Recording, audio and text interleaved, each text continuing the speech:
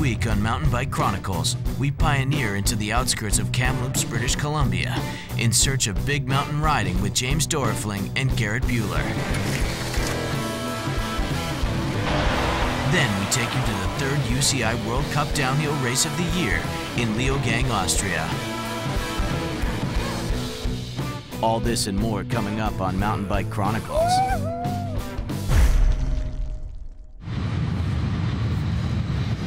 Just under an hour from the birthplace of freeriding in Kamloops, James Doerfling and Garrett Buehler are using some unorthodox methods for hunting fresh big mountain terrain.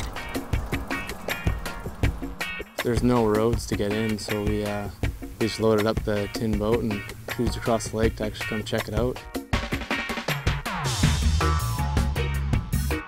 Scoped the whole coastline, kind of just like scouring up at everything.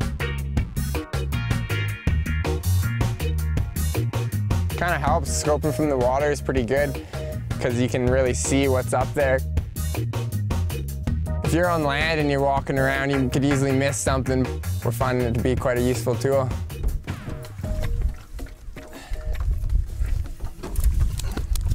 Most of the riding you generally do in Kamloops is quite like just right in town. You'd be driving down the highway and you'd see lines just anywhere. So this one's a little more remote, a little bit more of a mission to find it.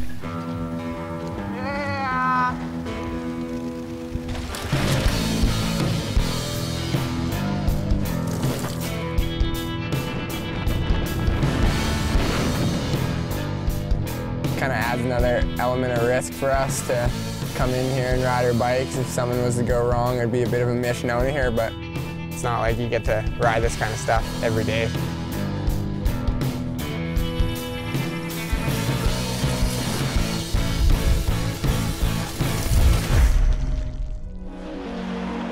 We're in Leogang, Austria for the third stop of the UCI World Cup. The overall standings are tighter than ever before, with new names joining what used to be a very select top group. Last week in Fort William, two riders were on the podium for the first time in their career Brook Macdonald and Danny Hart. I've been racing with Brook since I was first year junior and we've battled it out since then and there's a, there's so many people that could be up there you know it could be different people every weekend and for it to be us two that last weekend was just amazing, you know.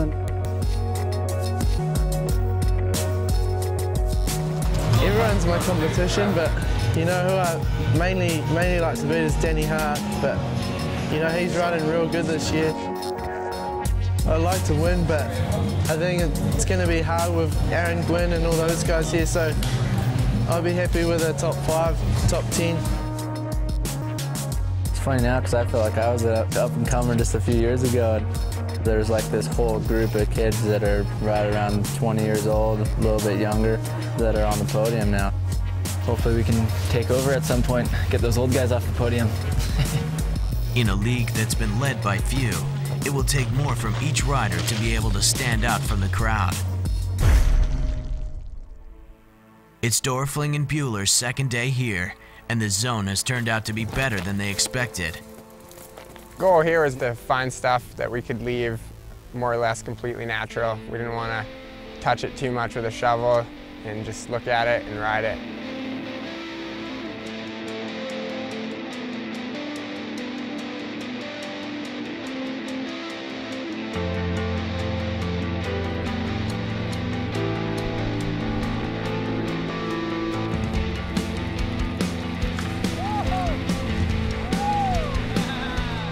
Having a session here, blasting down this face, hitting these jumps behind us. Get some trains going, just have some fun.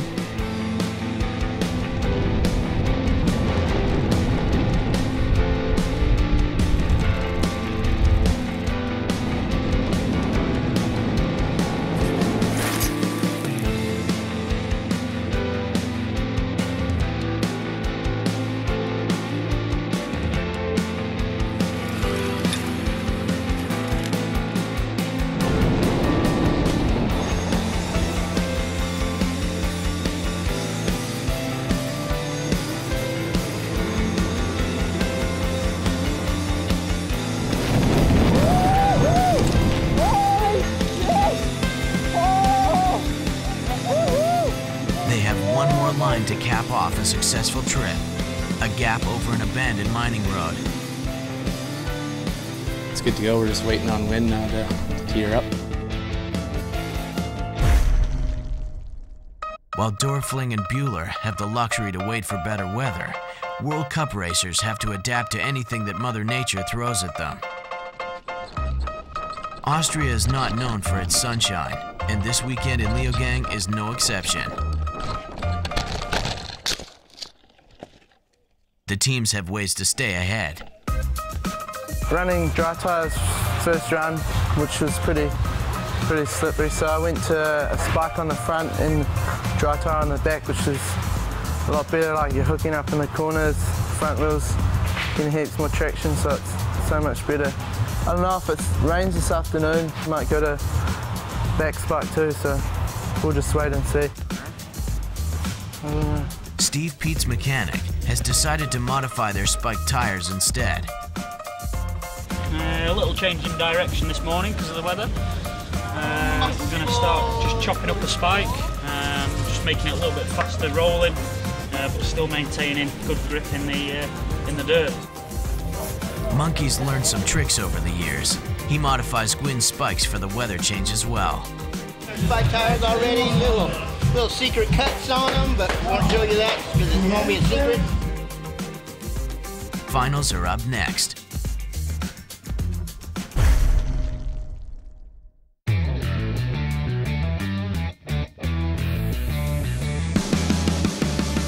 Veteran racer Greg Minnaar set the pace with a strong run.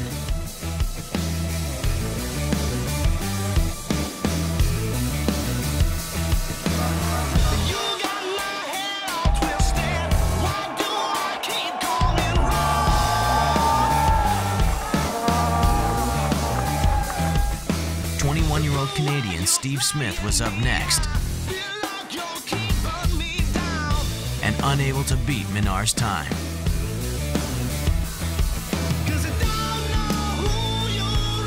Stevie in fourth. Stoked. Dog at the top 10, it's got to be stoked. Consistent. Yeah, it's good. Happy.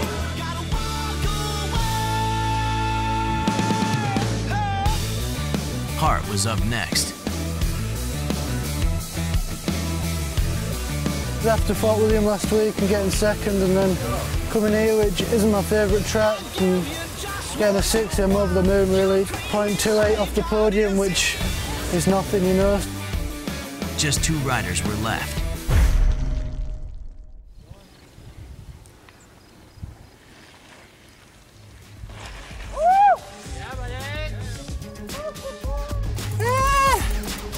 Oh yeah, first hit, worked out great. Couldn't be any smoother. Doerfling and Buehler have waited out the wins. The session was on.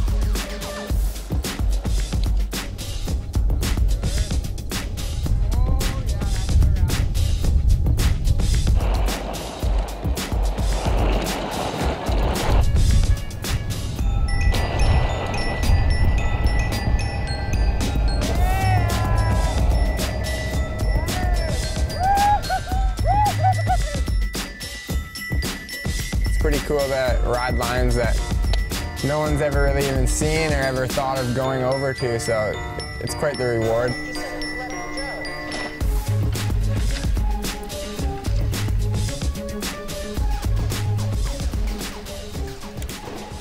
Coming into this zone in the boat definitely makes it unique. So much natural terrain that hasn't even been seen around Kamloops yet, and we're kind of tapping into some new, some new stuff. As Doerfling and Buehler headed home, they knew that this was just the beginning. Back in Leogang, just two riders were left, Gee. Atherton and Aaron Gwin. Gee was up first.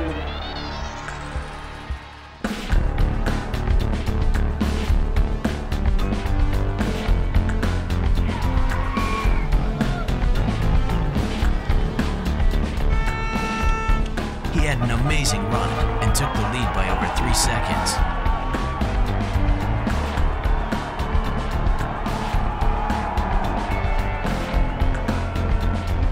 Gwin was the final rider down the hill. I'd rather have a run where I knew that I was going fast and had a crash instead of having a run where you cross the finish line with a good result, but you're like, mm, could have gone better.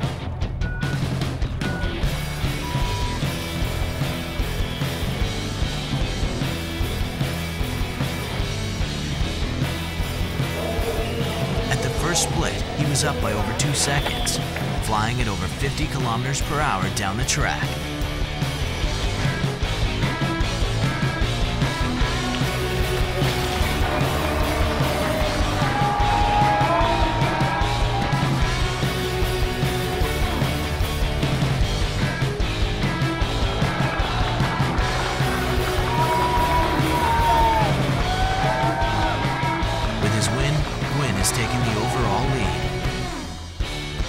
But Minnaar and Atherton are still hot on his heels for the overall title.